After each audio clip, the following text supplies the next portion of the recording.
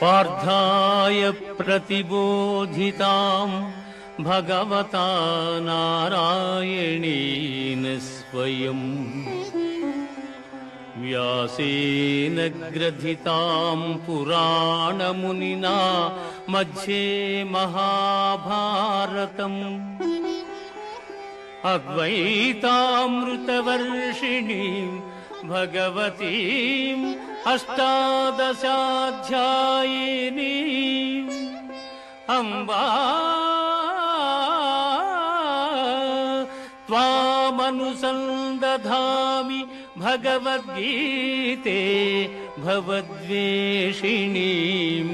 भगवद्गीते भवद्वेषिणी। भगवद्गीता। మహాభారతము యొక్క సమగ్ర సారాంశం భక్తుడైన అర్జునునకు అనర్చిన ఉపదేశమే గీతా సారాంశం భారత యుద్ధము జరగరాదని సర్వవిధములా భగవానుడు ప్రయత్నించను. కాని ఆ మహానుభావుని ప్రయత్నములు వ్యర్థములాయను. అటు పిమ్మట శ్రీకృష్ణుడు పార్థునకు సారథి అయి నిలిచెను.